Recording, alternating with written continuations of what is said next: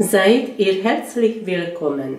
Was kommt Monat Juli auf dich zu? Und damit meine ich diesmal die Skorpiongeborenen. Erstmal schauen wir astrologisch an.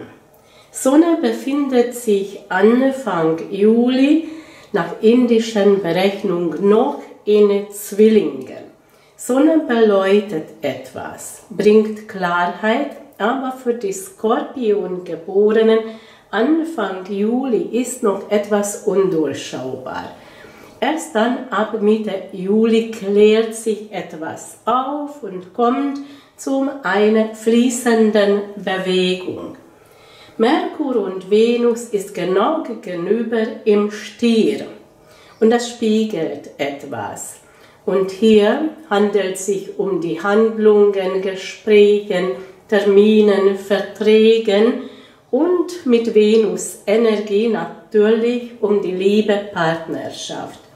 Und es ist wichtig, in dieser Spiegel schauen, weil das vermittelt etwas Wichtiges. Diese gegenüberliegende Position bedeutet auch die inneren Gleichgewicht und hier gibt es eine goldene Regel, nicht zu viel, nicht zu wenig entgegenkommen, aber nichts übertreiben. Was die Mars-Energie betrifft, bedeutet die Kraft, wo sollst du deine Kraft einsetzen? Du fühlst dich etwas ähm, überfordert oder fehlt die Orientierung, löst Unsicherheit aus. Mars kann auch eine männliche Person auch sein, wo die Begeisterung zwar da ist, auch die Mut und die Kraft, etwas Neues zum Starten, aber doch entstehen solche Momente auch, besonders bei den Männern, wo dann überlegen, hm, jetzt weiß ich auch nicht weiter, soll ich, soll ich nicht. In eine rechtliche Lage geht alles in eine schöne fließende Bewegung wenn es um wichtige, schicksalhafte Entscheidungen handelt, dann sei noch etwas geduldig, bis die rückläufigen Saturn zurückkehrt in Tierkreiszeichen Steinbock. 13. Juli ist Vollmond und das beleuchtet etwas und hat einen Einfluss von Nunki und dieser Stern Nunki bedeutet einen heiligen Ort ein Kraftort oder ist wichtig, genau das anschauen, was dir gerade Kraft gibt. 28. Juli ist Neumond, Rückzug, Nachdenklichkeit, Meditation über zwischenmenschlichen Kontakten.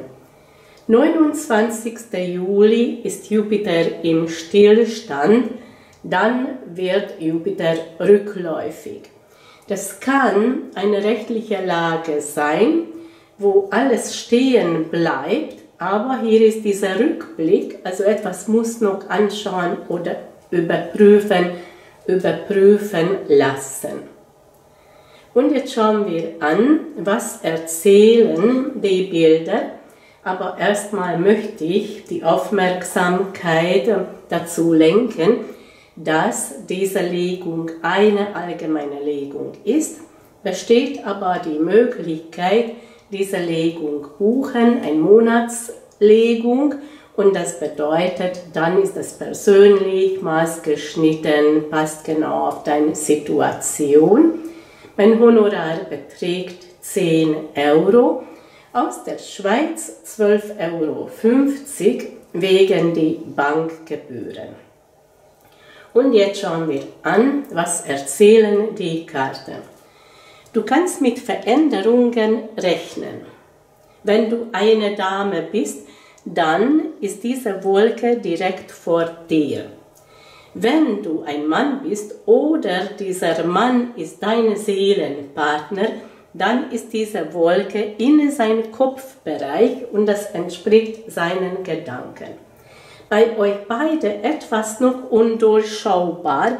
Das kann eine Reise sein oder Auslandskontakten oder handelt sich hier um die Liebe.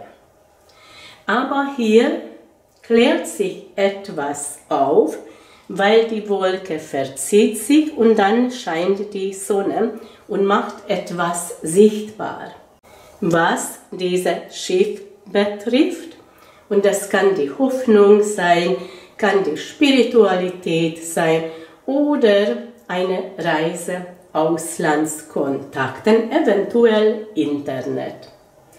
Und handelt sich auch um die Liebe. In die Liebe Partnerschaft ist die Hoffnung da und die Störche zeigen hier die Veränderungen. Und das ist eine schicksalhafte Veränderung, weil hier erscheint dieser Kreuz. Und das kann auch eine karmische Liebe sein, wenn euren Schicksalswegen kreuzen sie sich oder kreuzen sie sich wieder. Dieser Kreuz bedeutet auch die Glauben, Glaube an diese Liebe, das ist rein und sauber.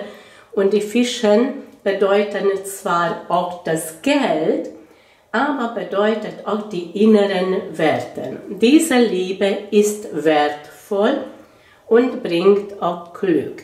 Dieser Kreuz kann auch Entscheidungen sein, weil ihr erreicht in euren Lebensweg gerade diese Kreuzung und ihr werdet neu orientieren.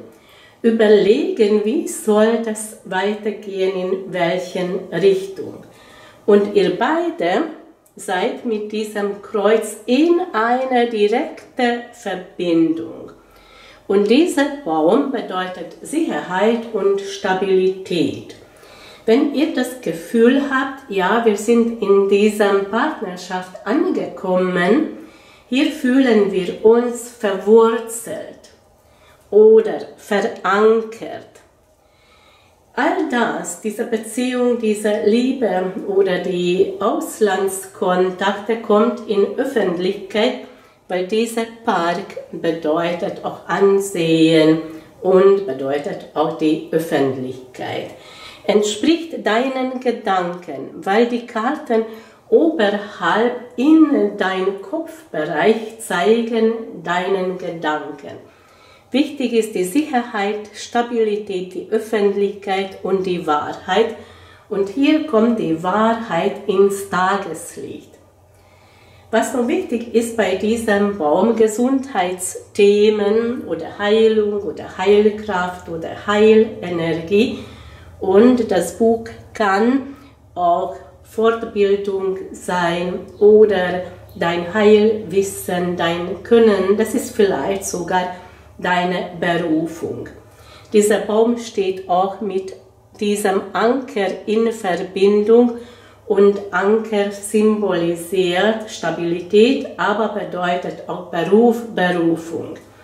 Hier die Sternenhimmel kann Astrologie sein, Spiritualität sein, das Buch, dein Wissen, dein Können, dieser Baum, die Heilkraft, die Heilenergie und dieser Blumenstrauß bedeutet die Kreativität, eine kreative Tätigkeit. Und hier in einer Linie erscheinen die Fischen und wie ich schon sagte, bedeutet auch Geld und hier liegt auch das Glück, das sind Gewinnchancen.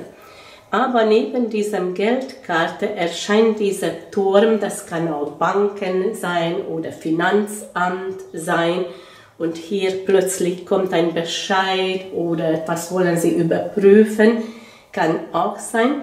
Aber dieser Turm bedeutet oft Einschränkungen und so war im Frühling hier waren finanzielle Einschränkungen da, aber diese Sense entfernt diesen Turm und hier kommt mehr finanzielle Stabilität und hier sehen wir auch die Bewegung.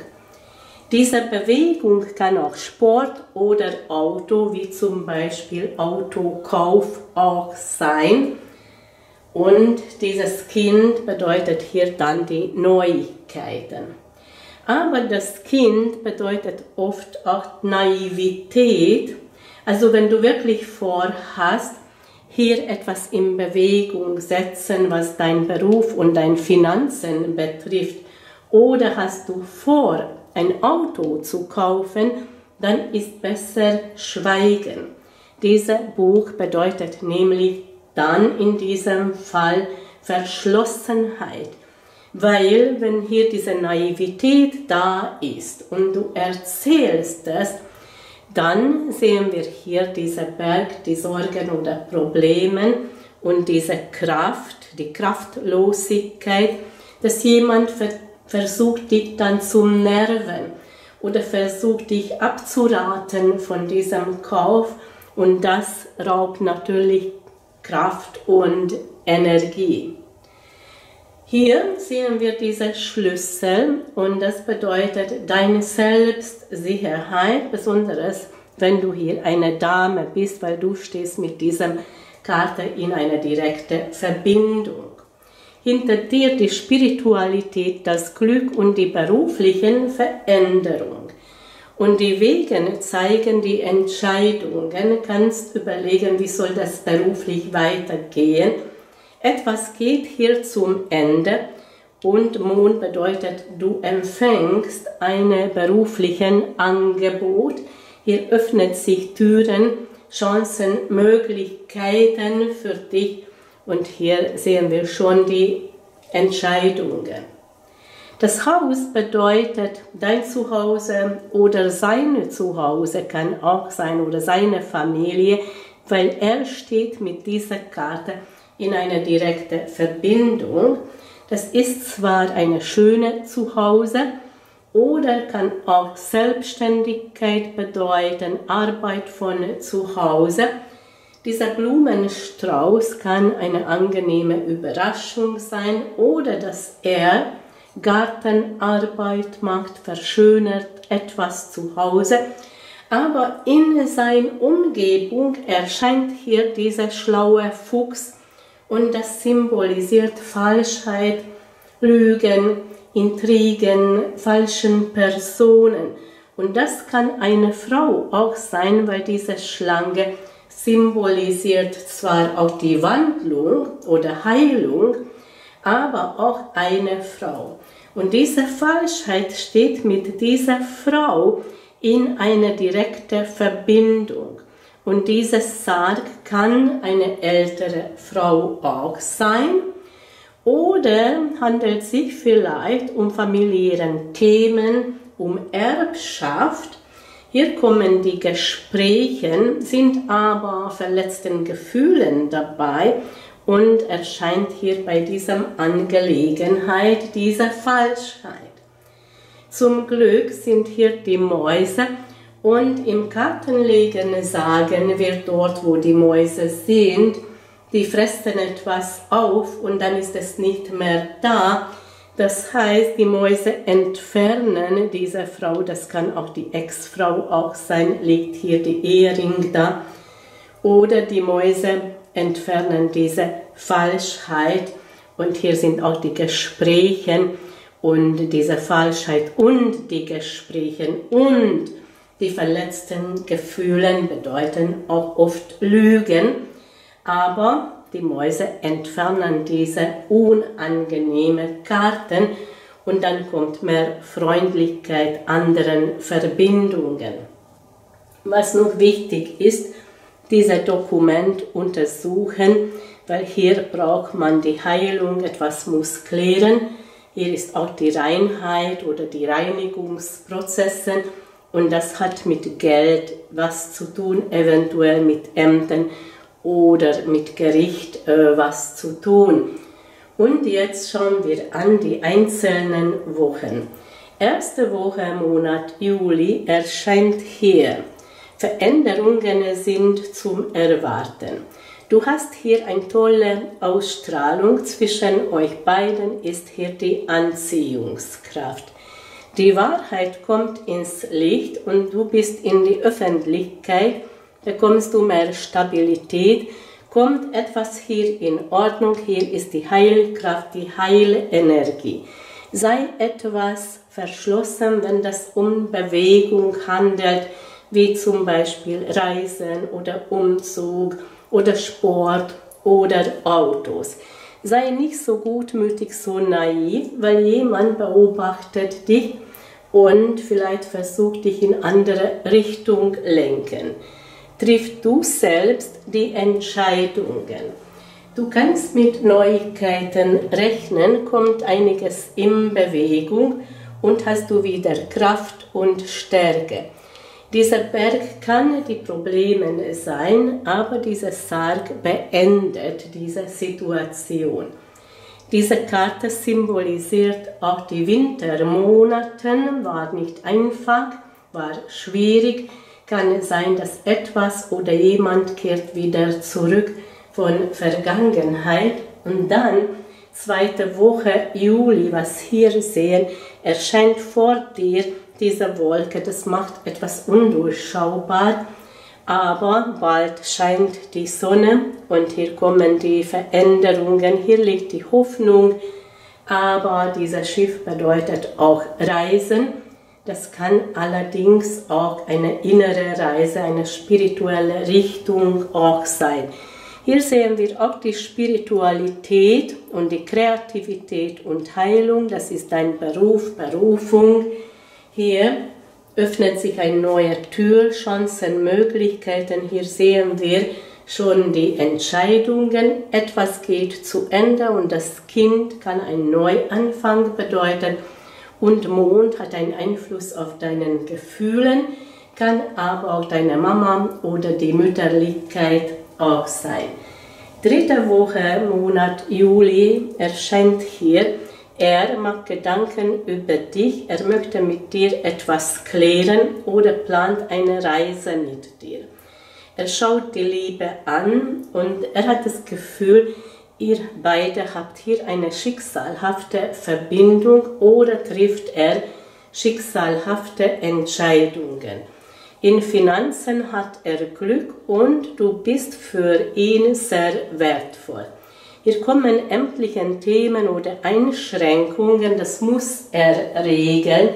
Das hat mit seinem Zuhause oder mit seiner Familie, eventuell mit Immobilien, was zu tun. Er möchte kreativ arbeiten, eine Selbstständigkeit aufbauen, aber jemand beobachtet ihn und hier kommen Lügen, Intrigen, wahrscheinlich von dieser Schlange, von dieser Frau. Aber zum Glück, die Mäuse entfernen diese Karte und dann verbessert sich die Situation, kommt mehr zum Leichtigkeit. Letzte Woche, Monat Juli, erscheint hier, dieser Kreuz bedeutet euren Glauben, oder euren Schicksal. Hier reinigt sich etwas in die Liebe, Partnerschaft, liegt auch das Glück dabei, die Werte und verbessert sich die Finanzen. Aber von Ämtern kommt etwas, hm, vielleicht etwas Unerwartetes und das hat auch mit Geld was zu tun. Oder hier im Hintergrund diese falsche Schlange verbreitet etwas oder versucht ihn kontrollieren, womöglichst will diese Frau Geld von ihm. Aber die Mäuse helfen dabei, diese falsche Frau entfernen und dann kommen andere Verbindungen und hier sehen wir auch diesen freundschaftlichen Umgang. Aber kann natürlich auch sein, dass die Mäuse entfernen etwas, weil diese Frau will Geld entfernen von ihm, weil stellt Geldforderungen dar. Kann auch sein, kommt eine Anzeige von dieser falschen Frau und hier dieser Amt überprüft seinen Finanzen. Und ich wünsche dir alles Gute und alles Liebe.